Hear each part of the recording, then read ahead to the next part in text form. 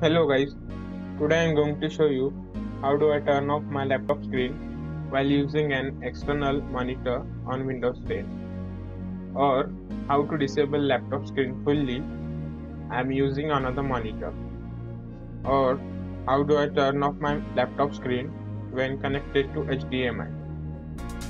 So first method is uh, go to the settings and then go to the display so first of all go to the settings and from here go to the system and go to the display option. So as you can see I have two monitors. So identify it. I'm using second monitor. So from here just select only show only two. And if you are getting this option then check it. Make this my main monitor so if you can do this then you're good to go.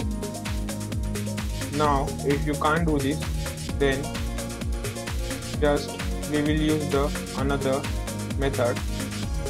And if you got that option then make the monitor primary and then turn off the secondary option. Okay we will use the second method. So uh, you can adjust your machine's power setting so that when you close the lid only your screen is turned off and nothing else.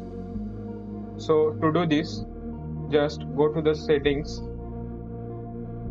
and go to the control panel and search for power options. So as you can see we got this power option. So select that and if you are using an PC then just go to the selected battery plan and change plan setting. And from here select the change advanced power setting. So from here you will get the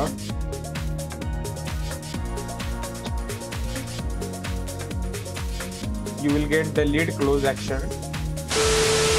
I don't know why, it is uh, not available in my windows but uh, some of my friend laptop have these options here.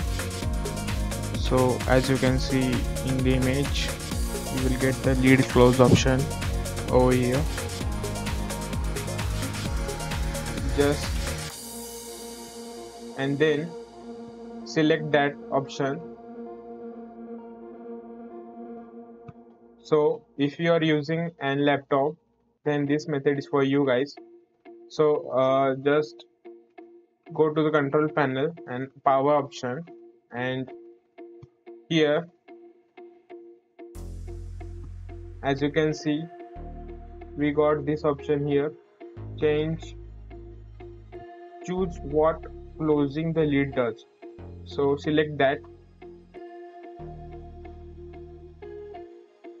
And when I close delete as you can see here is the option.